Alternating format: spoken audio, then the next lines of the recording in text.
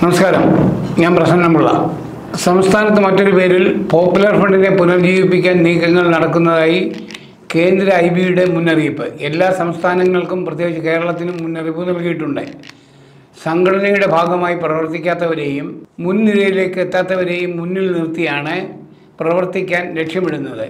എല്ലാ കേന്ദ്രങ്ങളിലും ഇതിന്റെ ഭാഗമായി രഹസ്യ യോഗങ്ങൾ നടക്കുന്നതായും ഐ ബി കണ്ടെത്തിയിട്ടുണ്ട്. ആലുവ കുഞ്ഞുണ്ണിക്കരയിലും പരിസരങ്ങളിലും പി എഫ് ഐയുടെ മുൻ പ്രവർത്തകർ രഹസ്യ യോഗങ്ങൾ വിളിച്ചു ചേർത്തതായി ഐ ബി കണ്ടെത്തുകയുണ്ടായി.